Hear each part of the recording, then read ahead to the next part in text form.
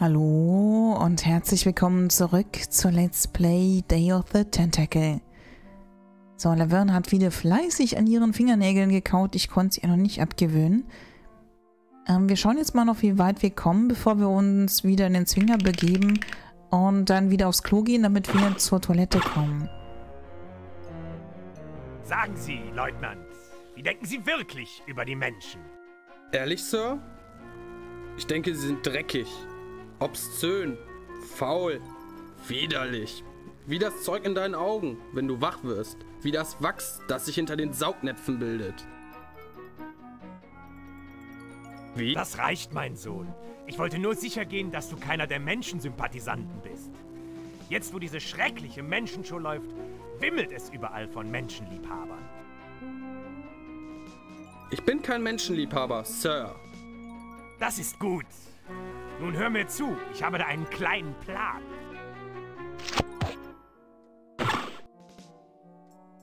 Ähm, okay, also ja, Queen Tentake ist ja wirklich auf unserer Seite. Vielleicht gibt es noch mehr, die mit uns sind. Moment, können wir hier selbst vor die Tür gehen? Warte! Menschen dürfen hier nicht frei rumlaufen. Ich bringe dich zurück in den Zwinger. Ich wünschte, ich hätte eine Tentakelverkleidung. Ja, Tentakelverkleidung. Moment mal, wir haben jetzt ein Tentakelschema. Und wir haben eine Näherin. Doch, doch, da, da, da wird ein Schuh draus. Juhu, Mr. Tentacle Guy. Ich muss aufs Klo. Ich muss mal für kleine Tentakel. Oh, na gut. Okay, lass uns Gasse gehen. Gut, Menschlein, erledige dein Geschäft. So, dann gehen wir mal wirklich zum Klo. Ausnahmsweise. Weil wir haben eine Schneiderin. Vielleicht kann die auch Tentakelkostüme basteln. Okay, ich hab's weggespült. Und du spülst mal bitte noch das zurück. Äh, zu wem habe ich denn das jetzt eigentlich gespült?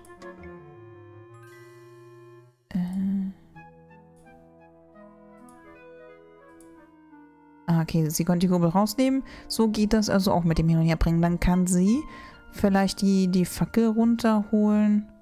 Äh, die Fackel. Die Fahne. Wow, guten Morgen. Mit dem... Achso, den kleinen Pulli wollte ich versuchen, ob wir den dem Hamster anziehen können. Weil er jetzt ja für Puppen ist. Benutze das da mit Hamster. Den braucht er nicht. Hm. Na gut, dann gib den da mal wieder zurück. Ah nee, das, das Tentakelzeugs muss ja zu Hogi. Der hat ja Zugriff auf die Schneiderin. Gehen wir mal gucken, ob da ein Schuh draus wird.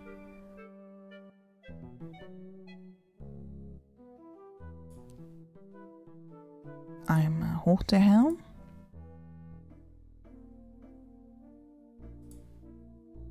Nee, falsches Zimmer.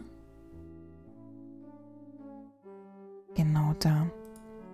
Hat er gesagt, wir sollen das einfach hinlegen.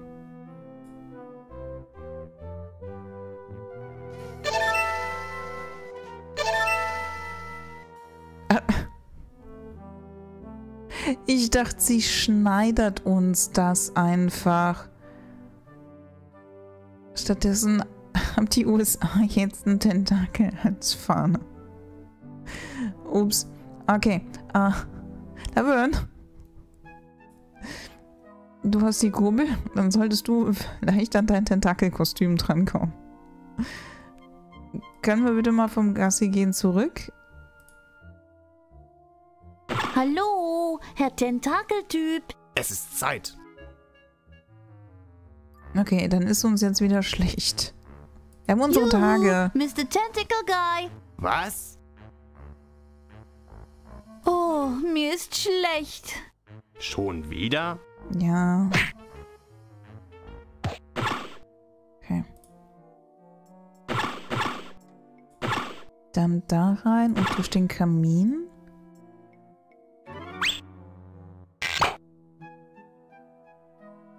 So, dann machen wir benutze das da mit Kurbelbox.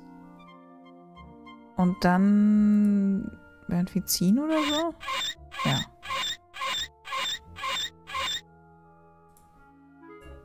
So, das wird bestimmt ein Heidenspaß. Benutze Fahne.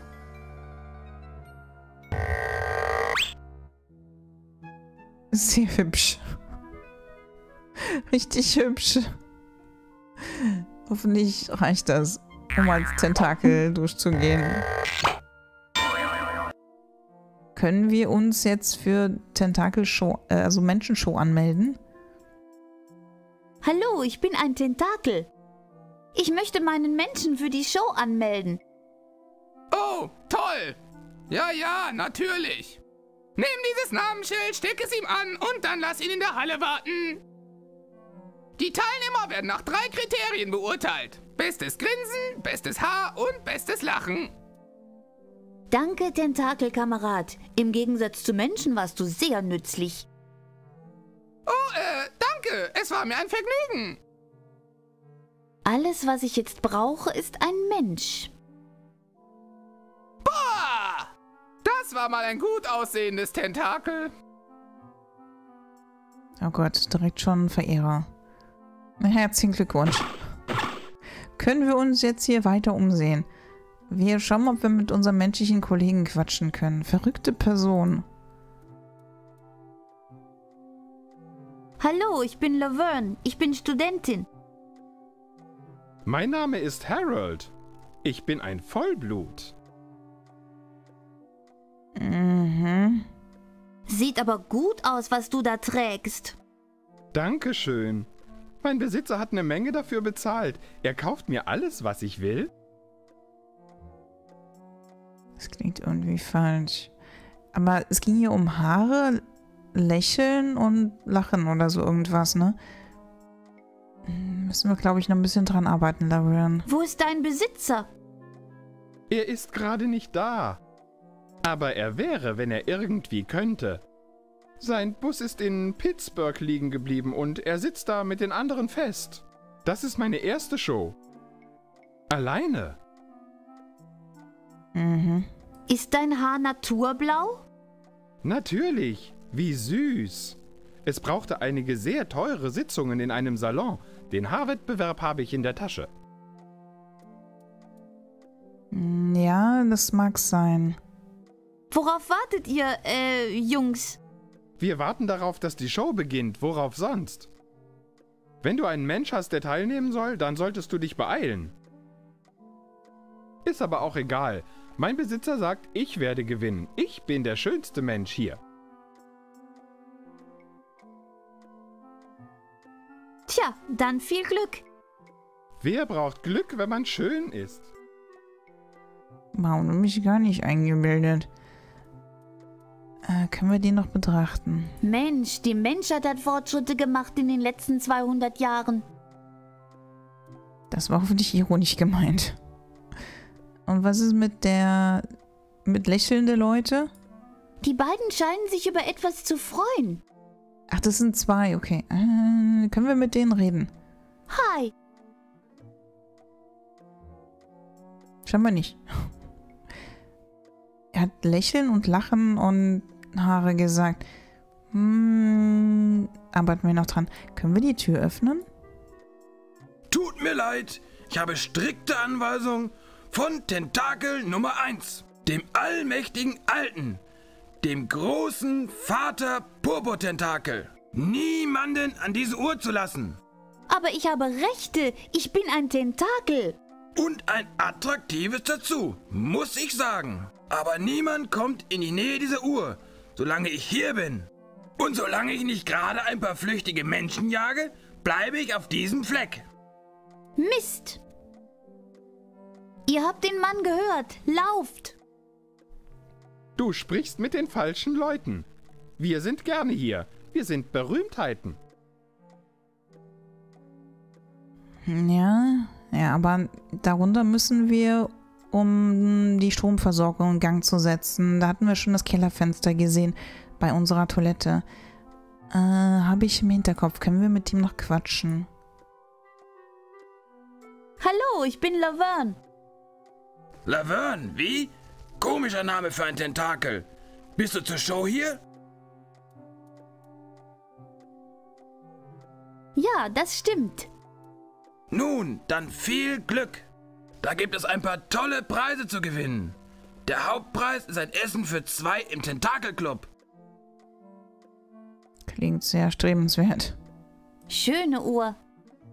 Ja, das ist eine wertvolle Antiquität. Ich würde sie dir ja zeigen, aber ich muss im Moment drauf aufpassen. Niemand nähert sich ihr, solange ich hier bin. Ja, und daran arbeiten wir, dass das anders ist. Könnte ich bitte die Uhr anfassen?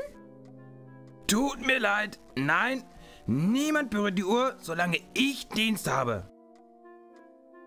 Ist hier schon mal jemand entkommen? Einige versuchen es, aber ich bringe sie wieder zurück. Das ist meine Hauptaufgabe und ich nehme sie sehr ernst. Ich kriege sie immer, egal wie lange das dauert. Einmal habe ich einen sechs Tage lang gejagt. Es ging quer durch die Täler bis hoch auf die Berge, da im Westen. Du kannst dir nicht vorstellen, was ich essen musste, um zu überleben. Hm, ich fühle, ich fühle mit dir. Stücke deines eigenen Körpers? Gütiger Himmel! Bist du nicht neugierig, was hinter der Uhr ist? Nicht wirklich.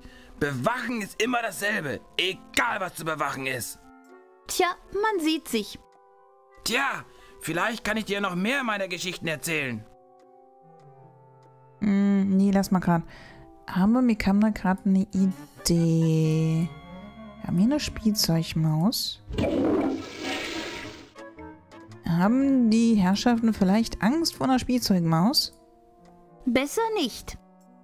Und der andere Typ? Besser nicht. Hm, war jetzt so eine Idee.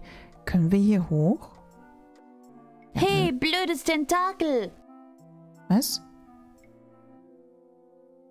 Wieso sagst du jetzt, hey, blödes Tentakel? Hm. Da ist die Eistruhe. Geschlossen. Ich habe eine Idee. Ich habe eine Idee. Ich habe eine Idee, was vielleicht grausam sein mag. Aber ich würde gerne den Hamster und die Mikrowelle irgendwie.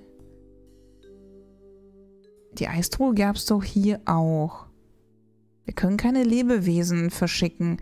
Können wir den Hamster so verschicken? Quasi Tut mir leid, dass ich dir das antun muss, aber es ist zum Wohl des ganzen Planeten. Genau, genau. Ist für einen guten Zweck.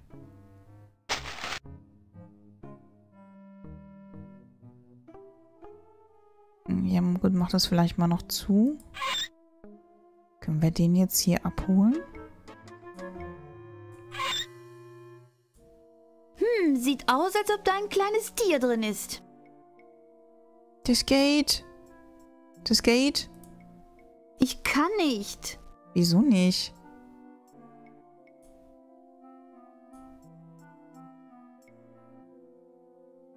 Oh Gott, der Arme.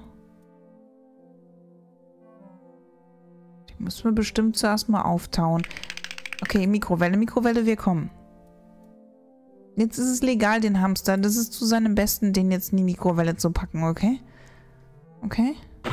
Sagt ja. Äh, nee, nicht zum Zwinger, sondern durch... Genau, da war die Mikrowelle. Dann bitte auftauen, okay? Himmel, ich hoffe nicht, das Ding ist so primitiv wie die gefährlichen Mikros in meinem Jahrhundert. Diese Dinger können einen Hamster richtig munter machen. Ja, nimm ihn bitte wieder... Oh oh. Nimm ihn raus, bitte. Laverne, hallo. Ich kann nichts tun. Oh Mann. Das war witzig, aber nur weil dies das 22. Jahrhundert ist. Wisst ihr, Kinder, die dort, wo ich herkomme, Hamster in die Mikro stecken, werden ihren Eltern weggenommen und zur Adoption freigegeben.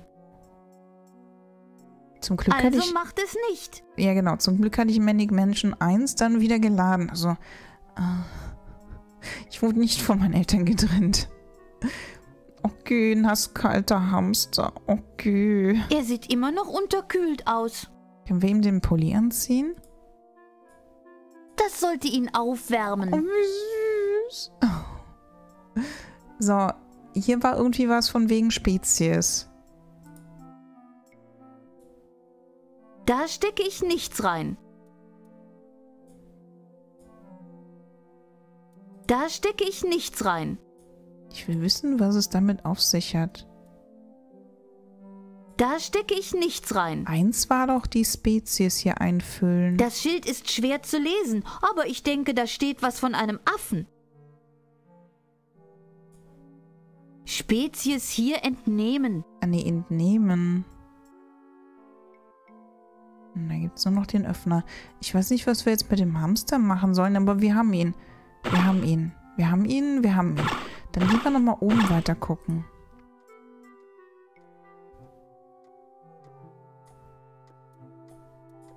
Wir haben den Hamster in die Mikrowelle gepackt und ich habe neben mein Fenster geklickt. So. Na, Björn, gehst mal bitte. Dann schauen wir uns hier oben um. Die Zeitkapsel. Ist da vielleicht jetzt Essig drin? Ähm, gucken. Es ist eine alte Dose. Da Mhm. steht ein Schild.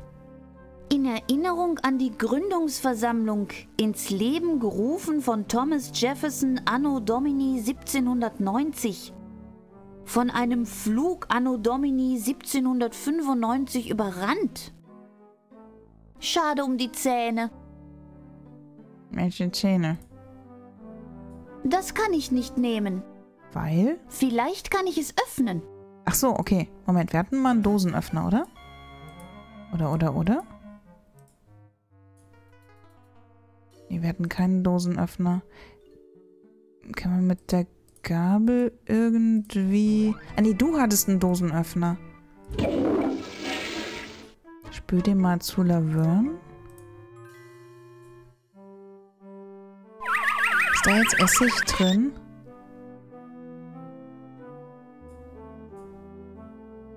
Essig. Chateau de Chapeau 1775. mitnehmen.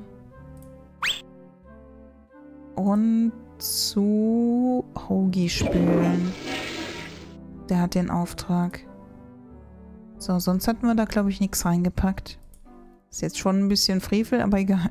In Erinnerung an die Gründungsversammlung ins Leben gerufen von Thomas Jefferson anno Domini 1790. Von einem Flug so, anno. Domini 1795 überrannt. Ich dachte, wir hätten die Schade Kapsel um die angeguckt. Zähne. Hm, egal. Äh, so, Porträt. Sieht wie ein Pudel aus, den ich mal kannte. Hm, dekorativ. Können wir den mitnehmen? Jemand scheint ihn am Tisch befestigt zu haben. Wer macht denn sowas? Habe ich im Hinterkopf zur Not mit dem Brecheisen oder so. Sieht bequem aus. Können wir das benutzen? Keine Zeit dafür. Okay. Kenne ich nicht. Okay. Dann nächste Tür, das war das Museum. Oh Gott. Ein Museum der anderen Art. Klassisch. Können wir den mitnehmen? Nicht mein Geschmack. In meiner wäre es auch nicht, aber... Hallo, mein stiller, eingewickelter Freund. Ich muss den Chrono John anschließen. Ich könnte auf einen Sturm warten. Ich bin beunruhigt wegen dieser Menschenshow. Dem kann man auch die Story vom Pferd erzählen. Aber ich muss jetzt wirklich gehen. So, was gibt's hier noch? Lampe? Das ist der Typ aus der hawaiischen Polizistenshow. Ich glaube, das soll Elvis sein. Bequem. Können wir den benutzen? Keine Zeit zum Ausruhen. Ich versuche die Welt zu retten. Hast ja recht, mein Mädel. Rollschuhe? Damit habe ich mich fast schon mal umgebracht. Hm, ja, das Problem kenne ich. Wir haben Rollschuhe. Cool. Wer hatte eine Lavalampe früher? Keine Chance. Das ist gefährlich. Ich habe den Dingen immer super gern zugeguckt. Es hat eine, Hypnotisi Moment, eine hypnotisierende Wirkung gehabt. Verlängerungsschnur, ich habe dich gesehen. Sie ist schön, lang und stabil. Mitnehmen brauchen wir. Sehr schön. Abmarsch. Leutnant, ich möchte Sie etwas fragen. Es könnte Sie aufregen. Fragen Sie ruhig, Sir. Ich vertrag das schon. Ich habe einen starken Magen, Nerven aus Stahl, Därme wie Messing. Das reicht, Sohn. Das hier ist wichtig. Hat sich einer Ihrer Freunde in der letzten Zeit etwas komisch benommen? Sie meinen nicht schleimig und nicht glibberig? Genau. Komm näher. Ich habe kürzlich mal den Gedanken gehabt, dass Menschen versuchen, uns zu unterwandern. Nein. Obwohl sie eigentlich dämlich sind, können sie trickreich sein. Sie könnten verkleidet sein. Er leidet etwas unter Verfolgungswahn, oder? Total unberechtigterweise. Was steht da? Ja gut, das kann man noch so lesen. Gütiger Himmel. Oh, shit. Du bist Purpur, äh, ähm. Ja? Okay, er hält uns auf für den Tage. Äh, meinst du nicht, du siehst gut genug zum Essen aus? Ich habe bemerkt, dass du schimpfst. Sag, du kommst mir bekannt vor. Hm, meinst du nicht, du siehst gut genug zum Essen aus? Was soll das bedeuten? Du sympathisierst nicht etwa mit Menschen, oder? Nein.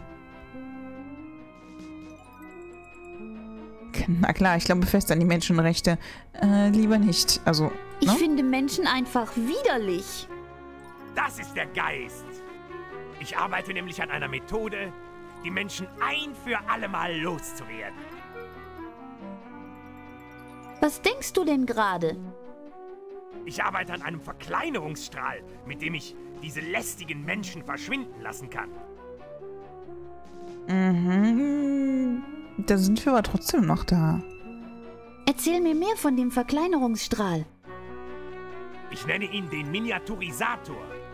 Das größte Problem am Design ist der Schalter für Leute ohne Finger. Okay.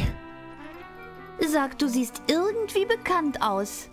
Natürlich, du Blödmann. Ich bin Purpurtentakel, der berühmte Welteroberer. Der ein bisschen in die Jahre kam. Bist du das gleiche Purpurtentakel, das Dr. Fred kannte?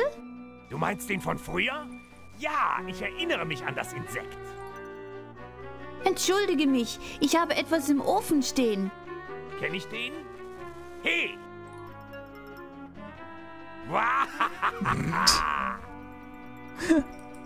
Wie kann er bloß so frei schweben?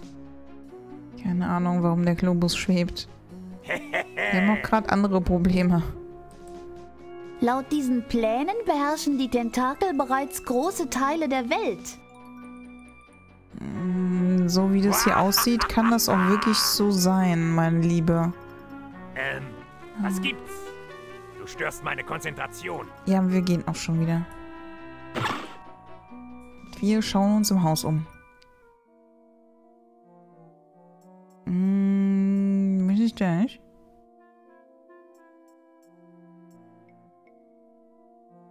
Hm, ich kann da nichts tun. Richt was? Was da? Da stand irgendwas mit richterliche Hochsicherheitszone.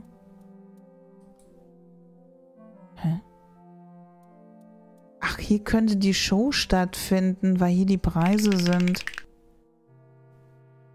Oh. Essen für zwei im Tentakelclub. Mist, nur für Tentakel. Ah. Hm, da müssen wir vielleicht noch irgendwas triggern. Ja, genau, gehe zu Wettbewerbsbereich. Kamen wir jetzt eigentlich von da hinten oder von der Treppe? Hm. Also ich glaube, hier startet später die Party. Was machen wir jetzt noch? Wir brauchen auf jeden Fall irgendwas, womit Laverne als Mensch den Wettbewerb gewinnen kann. Können wir uns das bitte nochmal anhören, was das alles war? Es waren Haare, irgendwie Lächeln und Lachen oder irgendwas. Hallo, mein Hübscher? Wann fängt die Show an, mein nichtmenschlicher Freund? Sobald wir in der Halle genug Menschen mit Namensschildern haben. Ja. Also ich denke, wir brauchen irgendwie ein Gebiss, Lachen und Haare. Gebiss muss ich halt immer wieder an das Pferd denken. Oder halt an den von den Regierungstypen. Weil das Pferd hat auf jeden Fall ein gigantisches Gebiss.